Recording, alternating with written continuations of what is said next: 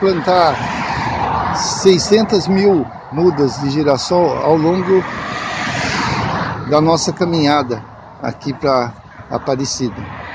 É, eu comecei de Mogi das Cruzes e confesso para vocês, já plantamos 500 mil e confesso para vocês que é muita coisa.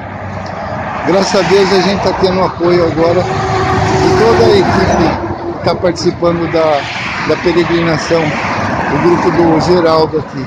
Todos eles estão nos ajudando aí a fazer o plantio das sementes de girassol.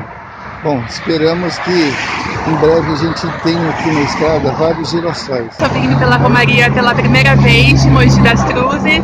Minha família já vem há alguns anos. Está sendo uma oportunidade incrível, inclusive, de semear os girassóis que vão representar muitas vidas perdidas, tá? Que a gente possa ver essa vida em torno da Dutra até Aparecida. O que, que você achou da proposta da semente? Bonito essa gesto. E aí?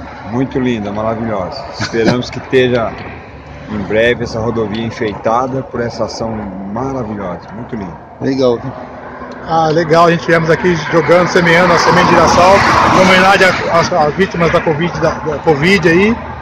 E a homenagem singela, mas de coração para nós aí, para todas as vítimas. Deus abençoe.